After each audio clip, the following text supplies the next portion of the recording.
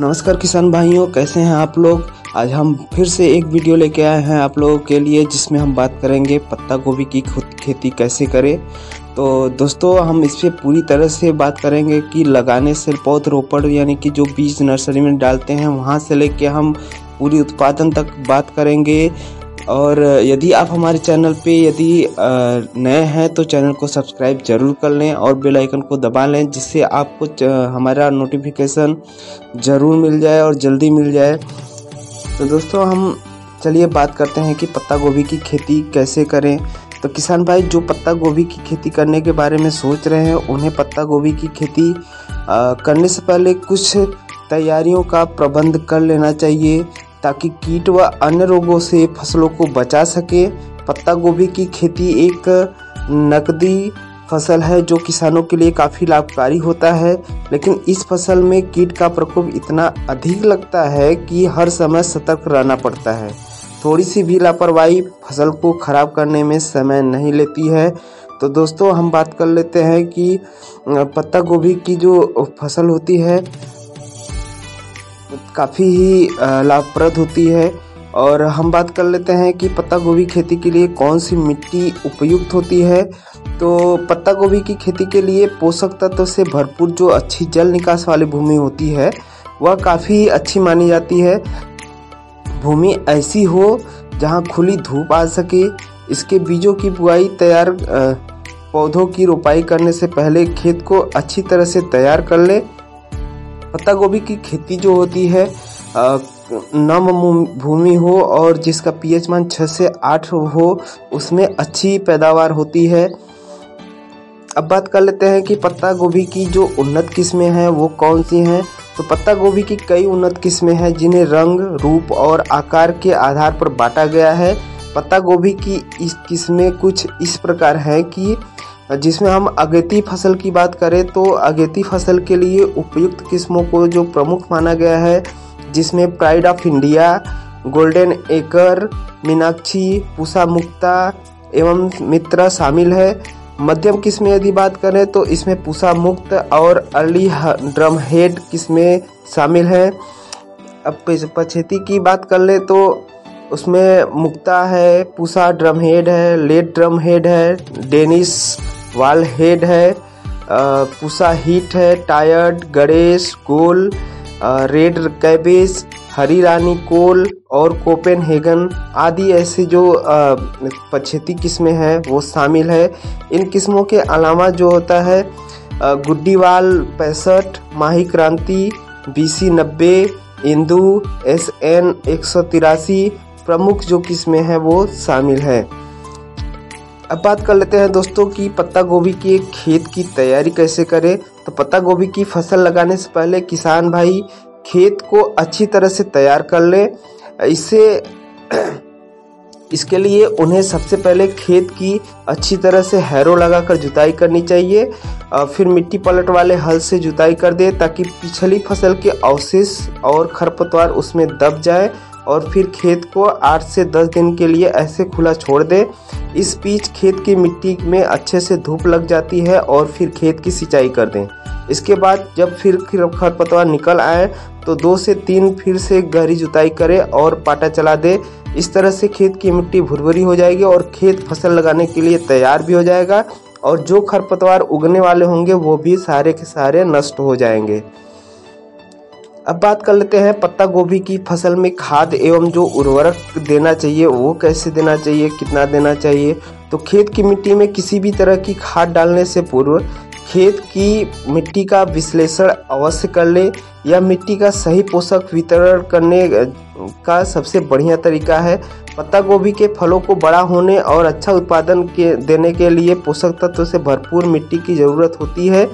किसान भाइयों को पत्ता गोभी के पौधों को खेत में लगाने से दो हफ़्ते पूर्व खेत में सड़ी हुई गोबर की खाद को डालकर मिट्टी की अच्छे से जुताई करना चाहिए तथा पौधों के दो या तीन सप्ताह पश्चात रोपाई जब हो जाए, उसके पश्चात छोटे पौधों में खाद की उपयुक्त मात्रा डाल दें। इसमें यदि आप रासायनिक उर्वरकों को डालने की सोच रहे हैं तो अधिकतर क्या होता है, ड्रिप सिंचाई और फर्टिगेशन का इस्तेमाल किया जाता है। इसमें किसान भाई पोटेशियम, नाइट्रोजन, फास्फोरस जैसे पोषक युक्त उर्वरकों का इस्तेमाल करते हैं। अब बात करते हैं पौधों के पत्ता गोभी के पौधों को लगाने का जो समय होता है और कौन सा तरीका होता है। तो पत्ता गोभी का पौधा पाला सहन करने में सक्षम होता है। वो पाला भी अच्छे से सहन कर लेता है, किंतु बसंत का जो, बसंत ऋतु का जो पाला होता है, वो पौधों को पूरी तरह से प्रभावित कर सकता है। चोटी पौधे निम्न गुणवत्ता वाली पत्तियों, अविकसित सिरों और निम्न गुणवत्ता वाली फ़सल का उत्पादन करेंगे। इसलिए फ़सल के बीजों को लगाने के लिए उचित समय अंतराल पर ध्यान देना चाहिए। बसंत ऋतु के मौसम में मौसम में बसंत ऋतु से मतलब ये है कि जो कि फरवरी से स्टार्ट हो जाता है, उस समय यदि आप रोपाई करते हैं तो आपको काफ़ी अच्छा उपज मिलेगा, जिससे आपको काफ़ी लाभदायक होगा। पत्ता गोभी की फ़सल के लिए, के अच्छे विकास के लिए यदि हम बात करें तो आप लोगों को कुछ बातों को ध्यान ज़रूर देना चाहिए। जैसे कि प्रति हेक्टेयर के खेत में यदि आप जो बीज दर है वो 250 से 400 ग्राम तक रख सकते हैं और प्रति हेक्टेयर के खेत में पौधों की संख्या की बात करें तो बीस हज़ार से चालीस हज़ार तक हो सकती है। एक हेक्टेयर जो होता है दो दशमलव चार सात एकड़ या तो दस हज़ार स्क्वायर मीटर के हिसाब से होता है। पौधों पक्ति में जो पौधों के मध्य 40 से 70 सेंटीमीटर की दूरी रखना चाहिए तथा पत्तियों के मध्य 60 से 90 सेंटीमीटर की दूरी रखना चाहिए। अब बात करते हैं कि पत्ता गोभी की फ़सल में जो लगने वाले कीड़े हैं और बीमारियाँ हैं, वो कौन कौन सी हैं? तो पत्ता गोभी की फ़सल तैयार होने के दौरान उसमें कई तरह के कीड़े और बीमारियाँ लगने का खतरा बढ़ने लगता है। यह एक ऐसी फ़सल है जो कई सारे कीड़ों को अपनी ओर आकर्षित करती है। हमें अपनी फ़सल को हानि पहुँचाने वाले कीड़ों और बीमारियों के बारे में जानकर उनके अनुकूल तरीका अपनाना चाहिए। इसके अलावा अपनी फ़सल को कीड़ों और बीमारियों से बचाने के लिए हमें किसी लाइसेंस प्राप्त योग्य व्यक्ति से भी सलाह लेना चाहिए। यहाँ पर आपको पत्ता गोभी की फ़सल में लगने वाले सामान्य कीड़ों और बीमारियों के बारे में बता रहे हैं, जिससे आपको काफ़ी मदद मिलेगा। तो पत्ता गोभी की फ़सल में लगने वाले जो कीड़े हैं, वो है छोटी, बड़ी, सफ़ेद तितलियाँ जो होती हैं। इस तरह का कीड़ा पत्ता गोभी के पौधों की पत्तियों के नीचे अपने अंडा देकर उन पर लार्वा छोड़ देता है और पत्तियों को खा जाता है। जो दूसरा है, पत्ता गोभी के पौधों पर एफिड्स नाम का कीड़ा उनकी पत्तियों को खाकर नष्ट कर देता है। यह कीड़े ग्रे और हरे रंग के होते हैं। कबूतर और अन्य छोटे पक्षी भी इस तरह की फ़सल को खाना जो है पसंद करते हैं। अब बात करते हैं दोस्तों कि उसमें कौन सी बीमारियाँ होती हैं। तो अल्टरनेरिया लीफ स्पाट पत्ता गोभी की फ़सल में फफूंद के रूप में आक्रमण करता है। यह पौधों के तने पर गहरे धब्बे और पत्तियों पर भूरे धब्बे बना देता है, जिससे छोटे और पुराने पौधों को प्रभावित करता है। यदि समय पर इसका उपचार न किया जाए तो पत्तियाँ पीली पड़कर गिरने लगती हैं। तो इसके उपचार के लिए आप क्या करेंगे? कोई भी फंगीसाइड जो कि अच्छी आपके मार्केट में मिल रही हो और काफ़ी कारीगर हो उसका आप छिड़काव कर सकते हैं। जैसे कि जिसमें आता है आ, साफ़ नाम की एक दवा आती है एक हिटमिल नाम की दवा आती है। ये सब दवाएँ आप छिड़क सकते हैं। पत्ता गोभी के पौधों पर जेंथोमोनस कैपेस्ट्रिस एक बैक्टीरियल बीमारी है जो मुख्य रूप से पौधों की सतह को संक्रमित करता है।